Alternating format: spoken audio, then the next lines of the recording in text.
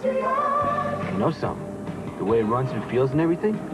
This Pontiac 6000 of mine is probably one of the finest road sedans of all time. Oh, come on. Probably. Okay. I did say probably. Right. Okay.